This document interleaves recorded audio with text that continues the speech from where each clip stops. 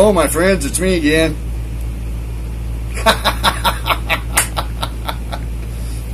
can you play a harmonica with dentures?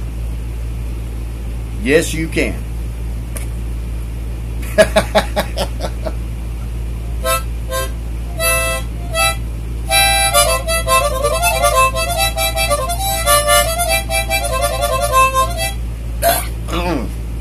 Sorry about that.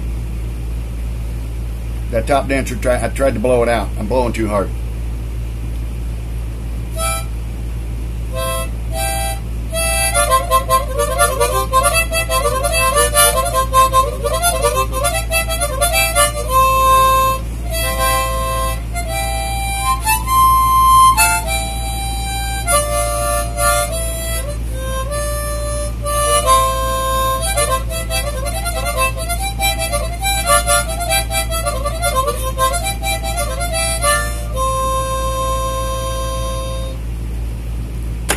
So I just started playing this again.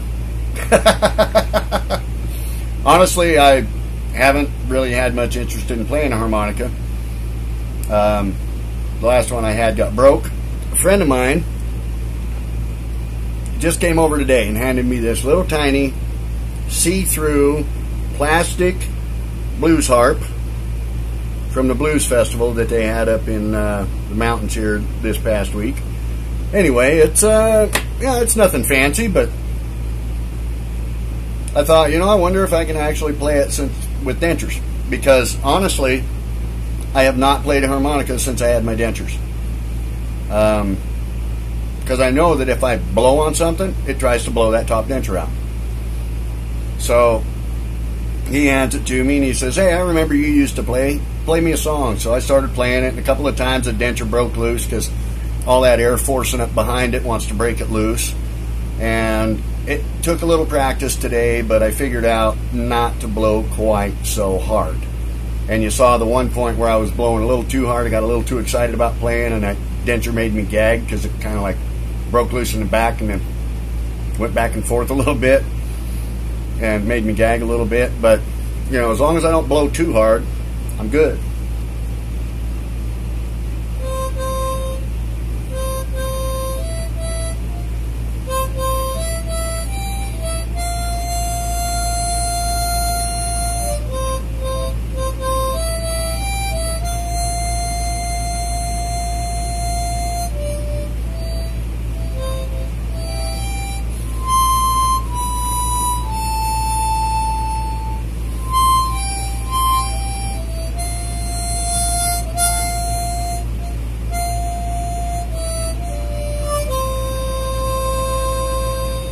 Anyway, so proof of point. I'm not gluing them in either. So, just so you know, you don't have to use adhesive for everything. You can play the guitar without adhesive. You can uh, wash the dishes without adhesive. You can mop the floor without adhesive. You can work on your car without adhesive. And, well, you know, there's a bunch of things you can do without adhesive. You can even play the harmonica without adhesive when you get used to wearing your dentures and stuff. So I just wanted to show you all that. Have a great night. Keep smiling, keep trying, and never give up.